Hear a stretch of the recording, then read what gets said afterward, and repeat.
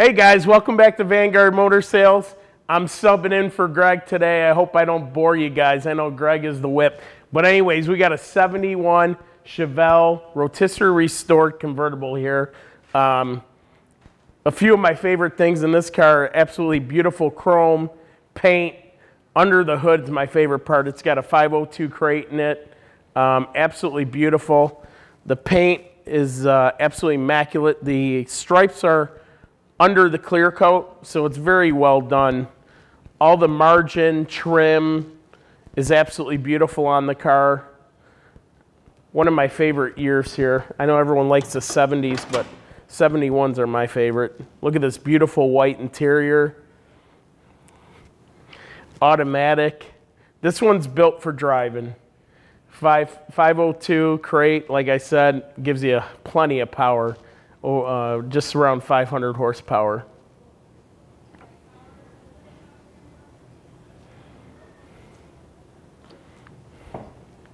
It's really tough to find high quality convertibles like this. But usually back in the days they rusted from water getting in through the tops, but this one's absolutely solid as they can be.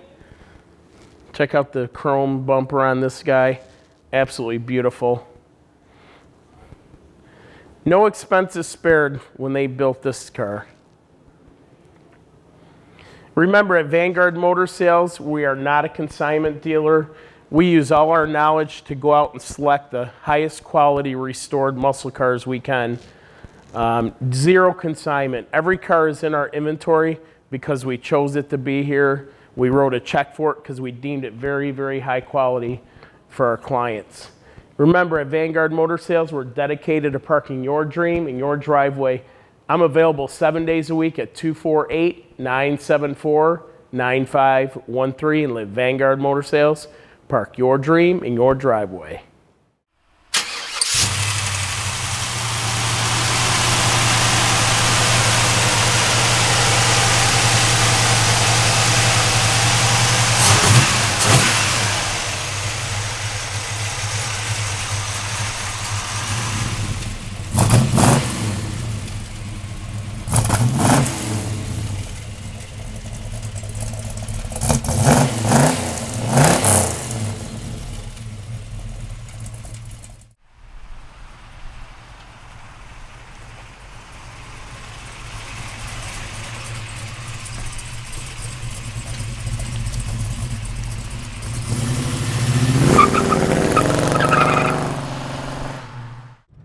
Let's take the 71 drop top for a drive. Beautiful 71 Chevelle convertible, powered by a 502 crate motor. Absolutely beautiful, Mulsanne blue, uh, white stripes. Everything has been touched on this car. No apologies, everything. Brand new dash, all the gauges work, even the radio works. Um, you got a power top, just unbelievable. Very responsive brakes, power steering, um, everything you'd want when you restore a car. A big block, power steering and power brakes. Don't get much better than that, guys. It's got the cowl out there too. As soon as we get some open leeway here, I'm gonna have Trevor throw our, throw the camera on the cowl hood and you can see what that does when we hit the gas. Michigan roads aren't the best, let me tell you that. Very, very low production 71 Chevelle convertibles. Um, and then to find one in this condition is just really, really rare.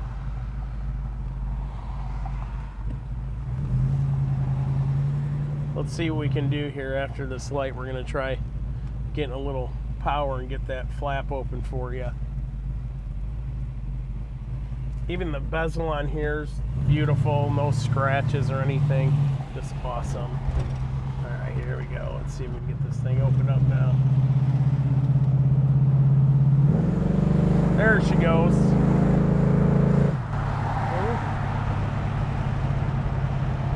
Nothing like a little cowl induction, baby.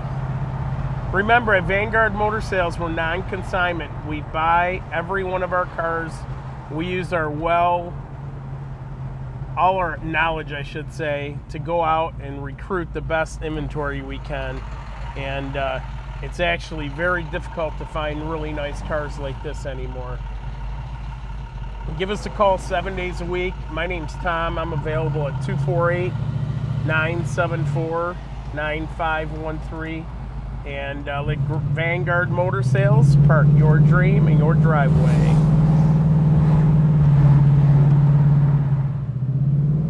All right, guys, and this is where it all happens 15 100 Keel Street. This has become our service center and our shop where we bring in and take out beautiful muscle cars. You need to fly into Detroit Metro and come out and see us. We're only 30 minutes away. All right, guys, this is the underside of our 1971 Chevelle. Uh, starting from the back forward, as we always do, uh, I'd like to point, point out the uh, paintwork here on the uh, lower valance here underneath the bumper. It looks really, really nice. Uh, looks like they wet sanded all of this here. I don't see really any orange peel or anything like that in it. When people take the time to do the underside as much as the top, once again, evidence for high quality restorations, which is what we like to see here. Um, obvious, it has a, a, brand new gas tank in it. Looks like brand new straps as well.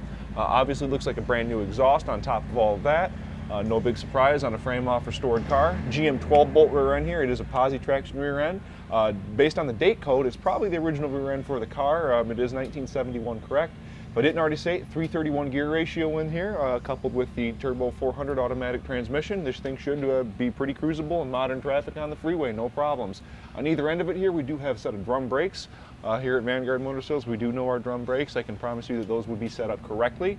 Um, we do have a set of, looks like stainless brand new brake lines on it, brand new whip hose on the top.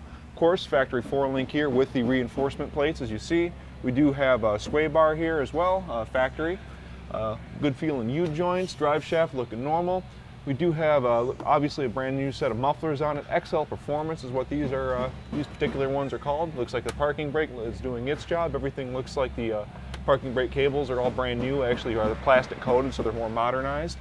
Um, another cool thing that I like to see, or I like to see in this car, is you see that all of our body plugs are not spray painted black. You know what I mean? uh, implying that the, these weren't out. So this car, once again, good evidence for a high quality restoration, the entire, entire car being blown apart in order to restore it. Uh, brand new brake line over here, brand new, uh, actually get that, I mixed that up. Brand new, uh, that is a brake line, excuse me. Brake line, fuel lines over here, all of it being brand new. Uh, another cool thing that I like to see on this car, and I checked it out beforehand, uh, this uh, seam up in here, or this spot up here, where a lot of stuff like to collect on these, all of it's nice and clean, uh, and it's all been painted to the same degree that all this stuff has. Once again, evidence for frame being taken off the car, that and all the body mount uh, bushings are new. Uh, frame being taken off, of, you know, out from underneath the car, and the restoration being done properly like that and on the top of the frame feels nice and smooth no scale once again evidence for a high quality restoration moving forward of all of that, uh, as you heard me mention here in the back, Turbo 400 automatic transmission. This one I do not believe, believe to be the original one for the car. This is a 1979 model year transmission, but uh, Turbo 400s are very sturdy transmissions. Coming forward to that, exhaust continuing to look new. Uh, oil, brand new oil filter on it. We change the oil on everything we come through here, just part of the, one of the things we do. So when you get your car, you don't have to worry about your first oil change. Um, as far as the front end goes, looks all to be brand new stuff. Uh, I'm seeing, uh, yep, all the boots look like they're in good shape. Uh, looks like definitely upper control, or I should say upper ball joint is brand spanking new Moog on that. Same thing on this side. Uh, disc brakes here in the front. Good looking set of tires on it. Uh, power steering, the underside of our ZZ502 engine here. We're gonna get to that in just a second.